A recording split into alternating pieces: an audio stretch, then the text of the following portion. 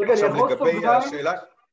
בבקשה? סוגריים, אני לא לא לוקח את המקום של דביר, דיברת על מומי לוי. בספיריט, ב- בסוס פרא, במקור באנגלית יש קול מחוספס צרוד של הזמר שאני לא זוכר את השם שלו, בריין אדמס. בריאן אדמס, ובגרסה העברית לקחתם מישהו, מומי לוי כמו שאתה אומר, לא קול כזה של מישהו, זה החלטה שלכם, או שדיברת, התייעצתם עם דיסני, מי, מי מחליט על זה? עם DreamWorks. אה, אני אה, מניח, אני מניח ש... אני מניח ש... שקודם כל, כל המחוספס הזה, שאם זכור לי טוב, היחיד שמשתמש בו, השתמש בו בתקופה מסוימת היה גידי גוב, נכון? זה מתאים לגידי. כן, כן. אז אני, אני מניח ש...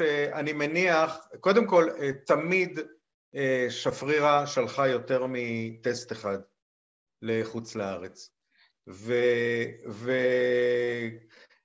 אה, דרך אגב, אני לא חושב שאנחנו ניסינו להעתיק, זאת אומרת, אם הדמות התאימה לנו מבחינה למוזיקה, אני כרגע לא זוכר, יש לי קצת, לגבי סוס פרא, יש לי כרגע איזה blackout לגבי כל העניין, יש לך משהו מסוס פרא, אז אני אוכל... אה, אם לא,